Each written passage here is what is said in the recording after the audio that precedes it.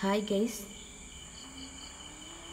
Today we are discussing about variational methods. This is the second module variational method and WKB method. We are already discussing about the WKB method. The WKB method, variational method and perturbation theory, time independent perturbation theory these are all are the um, approximation methods. Now we are going to discussing variational methods. When a system contains a single electron, then the exact solution of Schrodinger equation is possible. But if the system contains several electrons, then the exact Schrodinger equation can be attained uh, through approximation methods. Variation method is one of the approximation approximation method um, to get the Schrodinger equation for several electron system.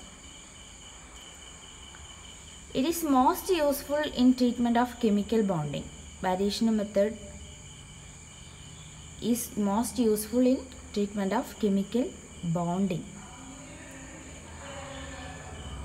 In variation method, first we guess a wave function and apply the variational principle to improve the guessed wave function.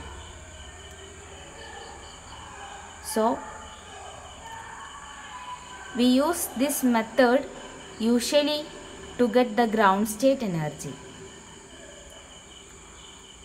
and wave function. But the extension to the excited state is also possible.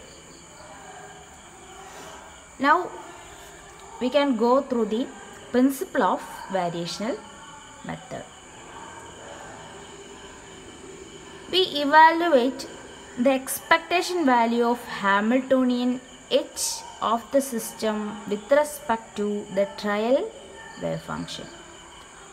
Trial wave function we may note as phi. In some textbooks, it can be referred as psi.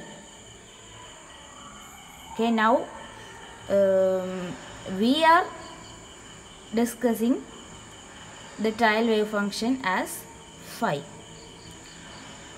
The variation principle states that the ground state energy E is less than or equal to H. The ground state energy E is less than or equal to expectation value of H. Okay, then we can iterate as E less than or equal to expectation value of H. Expectation value of H with respect to the trial wave function phi. So, E can be written as E less than or equal to expectation value of H with respect to phi.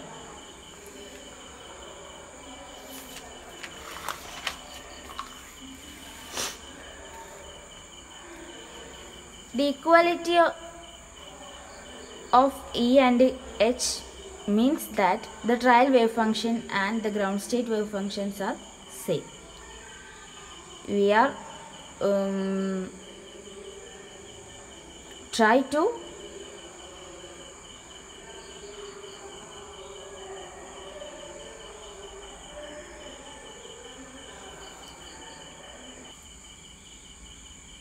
we are trying to get the ground state wave functions and the equality means that the trial wave function and the ground state wave functions are same. The value of h is upper limit to the ground state energy. Okay. If the trial wave function is not normalized, if it is not, not, not normalized, we can write it uh, write expectation value of h that's equal to uh, phi h phi divided by phi phi Ex- uh, normalization using. This ratio is referred as Rayleigh ratio. Okay. Then what we say? E is less than or equal to h. So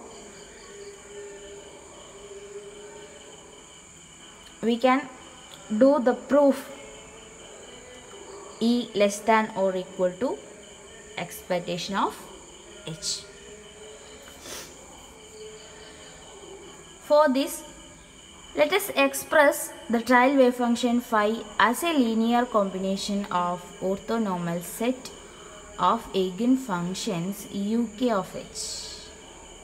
Okay. Again using the orthonormal set of eigenfunctions uk then we can write phi is equal to summation k ck uk and the expectation value of h we can write as phi h phi. Then we can put the value um, equation of phi in the expectation value of h. So uh, summation k ck uk h. Summation j cj uj we can change in the index. Okay but we know that um, the value should be existing if the index is same. Okay then we take summation ck and summation cj in outside. These are the constant values. So in first term it take to out then it becomes star. That is summation k ck star and summation j cj and ukh uj we know that h psi is equal to e psi so we can write in place of h e. Then summation k summation j ck star cj uk ej uj and already we said that uh, the value existing only if the inde- uh, uh, both index are same k and j. So we can write summation k summation j ck star cj ej delta kj that's equal to summation k summation k mod C K C K square E k none k equal to J let E k equal to even plus delta E k okay और E k even is the correct ground state energy then the E k that is we are the expectation value of H we take that summation k ck square more ck square into e1 plus delta ek for a normalized wave function phi summation k mod ck square is 1 so we can write expectation value of h that's equal to e1 plus delta ek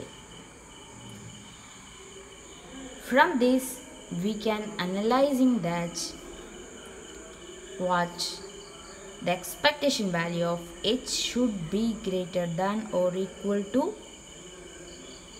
e1 okay.